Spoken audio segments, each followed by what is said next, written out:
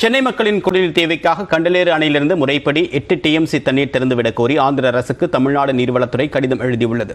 சென்னை மக்களின் குடிநீர் தேவைக்காக ஆந்திர அரசுடன் தெலுங்கு கங்கை நதிநீர் பங்கீடு திட்டத்தின் கீழ் ஆண்டுதோறும் பனிரெண்டு டிஎம்சி தண்ணீர் தமிழ்நாட்டிற்கு வழங்க ஒப்பந்தம் செய்யப்பட்டுள்ளது. அந்த வகையில் ஜனவரி முதல் ஏப்ரல் வரை நான்கு டிஎம்சி ஜூலை முதல் அக்டோபர் வரை எட்டு டிஎம்சி என்று மொத்தம் பன்னிரண்டு டிஎம்சி தண்ணீர் திறக்க ஒப்பந்தம் மேற்கொள்ளப்பட்டது. இந்த ஆண்டு தென்மேற்கு பருவமழை தீவிரமடையாதால் அங்கிருக்கக்கூடிய அணைகளிலிருந்து கண்டலேறு அணைக்கு நீர்வரத்து குறைந்துள்ளது. இதனால் ஆந்திராவின் தேவை கருதி கண்டலேறு அணையிலிருந்து சென்னைக்கு நீர் திறப்பு குறைக்கப்பட்டுள்ளது.